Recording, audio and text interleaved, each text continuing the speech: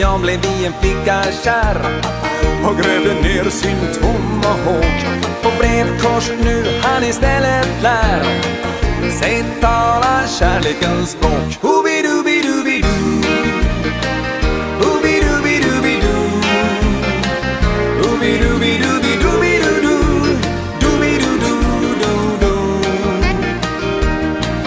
En glad Eskimo som väldigt ensam var ut i sin runda iglokåk fick detta råd utav sin far. Försök att lära dig kärlekens språk. Hoobidoobidoobidoo Hoobidoobidoobidoo Hoobidoobidoobidoobidoodoo Doobidoo-doo-doo-doo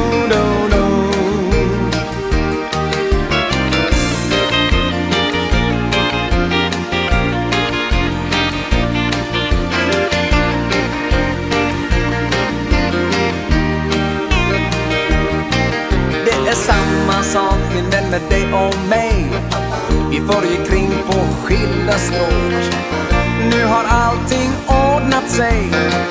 Nu talar vi kärlekens språk.